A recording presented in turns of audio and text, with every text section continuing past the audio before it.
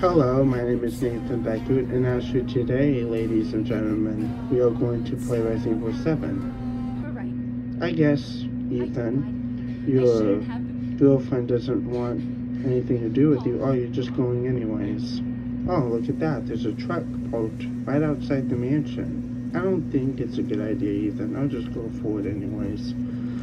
Hey, I think uh, that's one of the people that died. I guess turn back.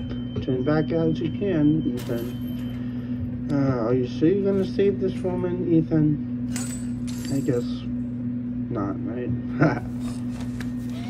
so, to be honest, she's trying to kill you now.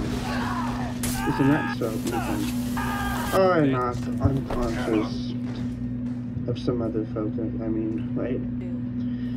Uh, stitching your arm back on. That's how real life works, I guess. Ah, so like Texas Chainsaw Massacre, I suppose. Mm, gotta run as fast as I fucking can. Make it towards the hatch. Towards the end of the floor. Why not? Ah, shit.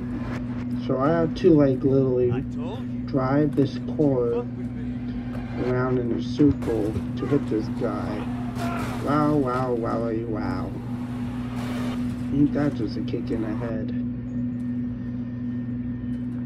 Well, the guy's dead, so can I go up the ladder? Or to pick up the gun? Well, that wasn't so necessary. what? Alright, safe station is. See you, folks.